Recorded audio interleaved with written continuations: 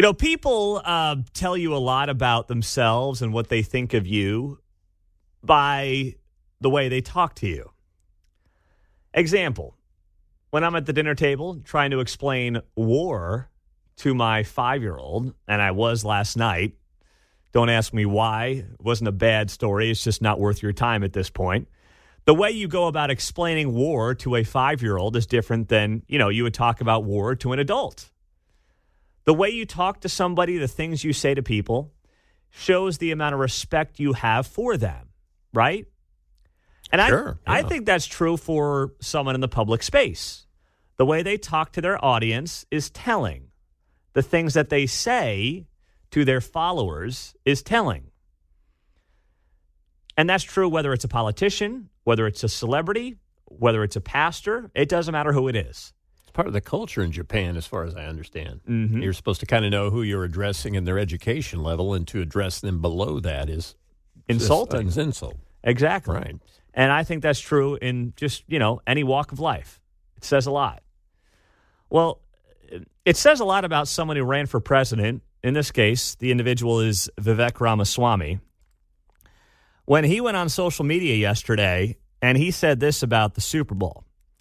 He said, quote, I wonder who's going to win the Super Bowl next month. And I wonder if there's a major presidential endorsement coming from an artificially, culturally propped up couple this fall. Just some wild speculation over here. Let's see how it ages over the next eight months. You know, sometimes we really do overthink things. There is no suggestion or evidence that secretly what's going to happen is that Travis Kelce and Taylor Swift, after a Super Bowl win, are going to get engaged. And then right after that, they're going to come out and they're going to endorse Grandpa for reelection in 2024. Boom, boom, boom. They'll be knocking on doors. Yeah, Pete. yeah. they're going to go right through Overland Park Yeah. and Leawood, and, you know, they got their new stomping grounds. Are you I saw 'em kidding me? coming. Are you kidding me? Once again, it says a lot about somebody based on how they talk to you, based on the ideas they put out there in front of you. And this is a classic example of how Vivek Ramaswamy really feels about the people who are his followers. He thinks they're morons.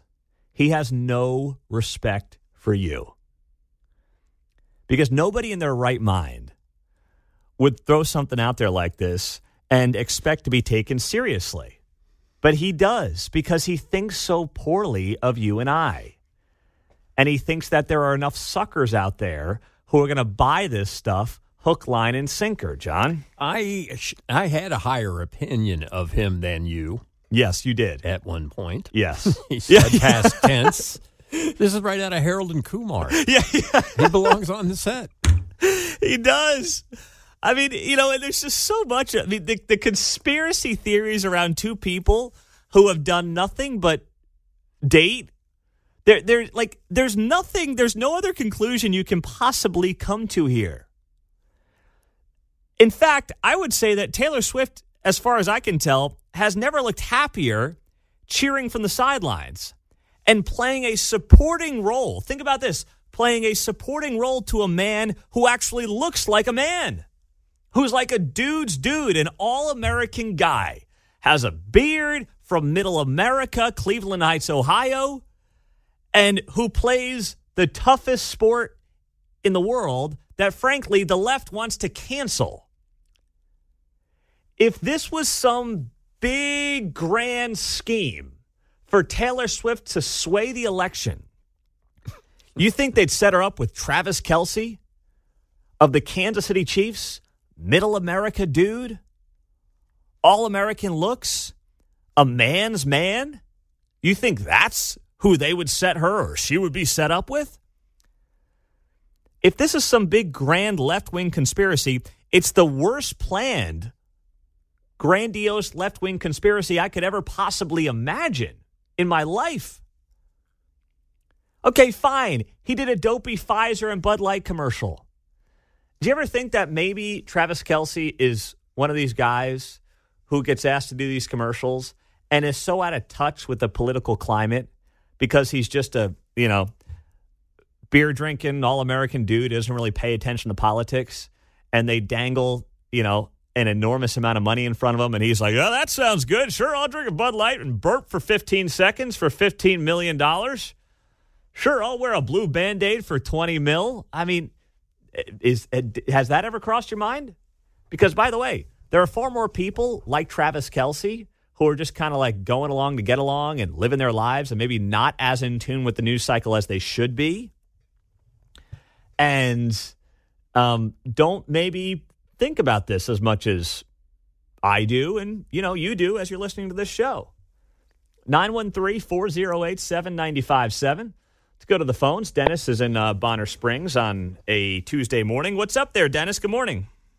Good morning, sir. Uh, you know, yesterday I'm getting text messages from people on this subject. I turn on my TV, it's on my TV. I get on my phone, it's on uh, my Google feed, it's on my Fox feed, it's on Twitter, it's on Facebook. Yeah. Everybody was talking about it. He just talked about what he was talking. Everybody else was talking about. And I find it amazing that at the podium at the White House, whatever her name is, uh, John Key Pierre or whatever, she even brought up the subject. Now, listen, they're the most they're the most they're the most talked about couple in America right yes, now. Yes, sir. But that yes, doesn't sir. mean and that there's a grand conspiracy around it. No, it doesn't. But he was just repeating what everybody else was. Should he have done it? Probably not. But you know, Pete, I've been wanting to ask you this for a long time, and John can collaborate. I don't understand why you're so hard on Vivek. I have listened for probably six to ten hours of of interviews he does. matter of fact, I just okay. I'll, I'll, tell, I'll tell you. I'll tell you why. Because nothing. There's no one I respect less than someone who comes off as wildly disingenuous. And there are people who view the world the way Vivek does that I have a lot of respect for. He's not one of them because he comes off as disingenuous and as someone who is seeking fame, the spotlight, power, and everything that he said over the last six months doesn't match up with who he's been for most of his life. Well, Donald Trump isn't who he was 20 years ago. Of I mean, course, yeah, we, no, yes, they do evolve. But we're talking evolving is different than literally flipping on a dime. Well, I, uh, here again, I like I said, I listened yesterday. He was explaining a bunch of business stuff, and it's like, wow, he's explaining it to me how I can understand it. Mm-hmm. You know, uh, uh, and and it's like I, I don't get everybody. Well, listen, I mean, I, I don't. I, listen, here's the thing, I, Dennis. Maybe he made a great point about whatever you're talking about. That may be true, but then he does stuff like this, and it's just wildly insulting to anybody who you know has uh, seven brain cells left. Okay, well, one one more thing, then I'll let you go because I know you have a show. Uh, but uh, I do. My, my point. My point is, okay, so he did this Trump does this, Biden does this, Rand Paul does this, uh, right, Hakeem what, Jeffries does. What's the point, Dennis? Well, why? Why do you just pick him out? I don't understand because he's disingenuous. Yes. Okay, I guess that's my answer. Yes, so, that is the answer there, Dennis. Right. Thank you, buddy. Hey, uh, one more, wait a minute, one more thing. No, Thanks no, no, no, no, no, no, nope, nope. Anymore, I got to start charging you. starting the show like you did, brother. Oh, okay. Yes, you're very welcome, Dennis. Right, have glad. a good day. Trust me, we'll get back. We'll get back to the folks who, uh, you know, the three Americans who lost their lives in Jordan. We will reset that this morning. I'm with you on that radar where you feel like somebody's insulting your intelligence. Yes. Two people can tell you the same thing, but how they say it, you're like, this dude's full of I know. Jonky Pierre is one of those from. Oh, that was. I've heard a lot of butcherings of Karine Jean Pierre's name, but I think Dennis takes the cake. So good job by you, Dennis. Whether that was planned or not, it was very funny. 913 408 7957. The text line is going bonkers. Because let me just explain this again. You know, well, I got to take a quick break. We got to get to our buddy Bill O'Reilly.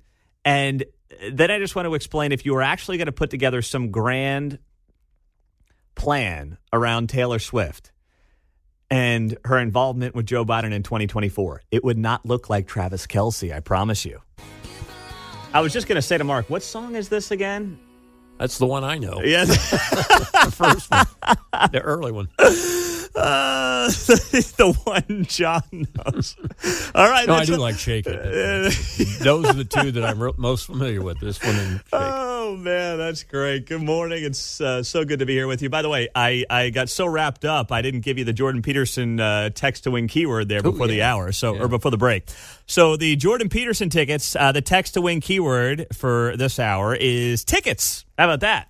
To 913-408-7957. Dr. Jordan Peterson will be at Cable Dahmer Arena next month, Friday, February 16th. And uh, we're giving away tickets every morning this week at 7.15 and then at 10.15 in Ray Stevens' show. So tickets to 913-408-7957. I got so bent out of shape with the Taylor talk that I forgot about the, the, the keyword. Jordan talk. Yeah. So just to, to reset this, uh, Vivek Ramaswamy put up on Twitter yesterday.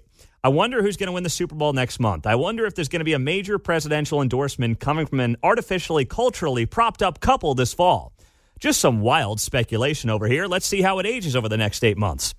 Um, that is a great reminder that when people throw stuff like this against the wall, they have zero respect for the people that are followers of theirs. None whatsoever. Artificial is not something I would characterize this at all. No, there's So that's nothing the first to suggest Yeah. that this is artificial in any nature.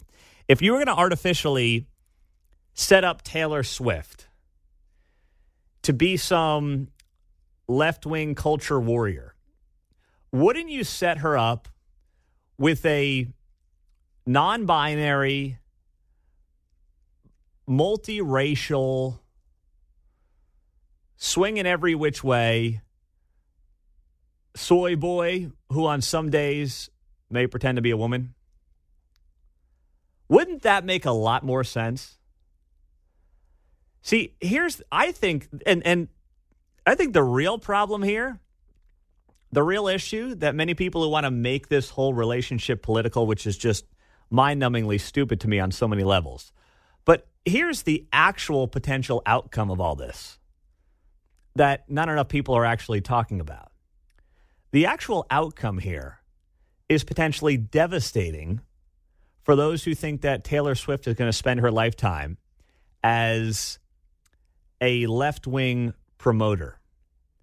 If Taylor Swift gets married in this all American relationship with Travis Kelce, he's, you know, the football star, she's the pop star. If they actually do end up getting married and they end up settling down and they end up having children, and suddenly her life becomes vastly different than what it's been for the last 15, 20 years.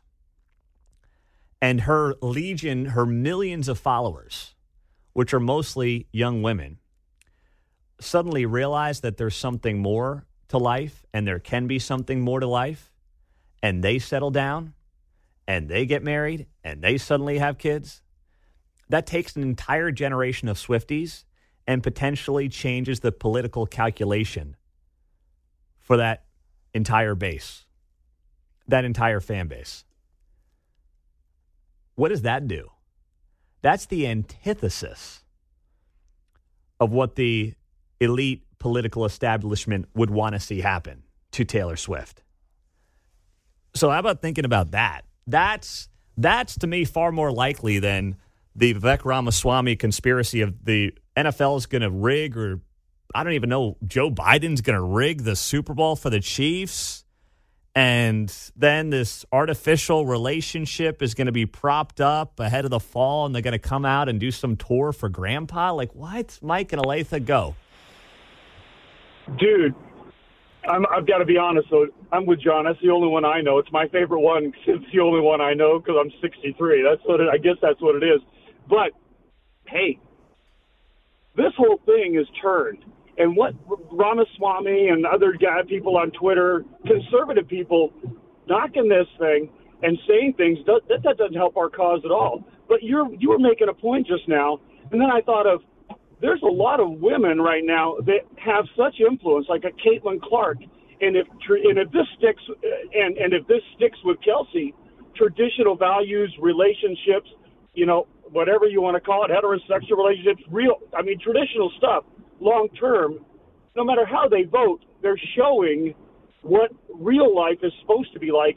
And you're right, if they can influence that many people, how ironic that traditional values and would come from people like that, and an innocent basketball player at Iowa, or a major superstar, the most popular player person in the world, Mm-hmm. who really leans left, but she's she said it, she th- th- this isn't a fake thing anymore. It's I mean, not. It's real, and you can see it, and you can see it because you can see the way they embrace each other. But also the fact that I was given, I was one of those people early going. Then I think uh, I think Kelce's got his mind on lipstick and not footballs. Well, he's overcome that and he's fixed that real quick. Listen. and there, and, and thank God he did that. But I mean, it, what your points are great. It, and long term, it could be a real benefit, and and I love it. I think I've I've, I've embraced it, even though mm-hmm. I only know one of her songs. Thanks, Mike. Have a good day. Listen, I was I was skeptical out of the gates and then came around on it in a big way.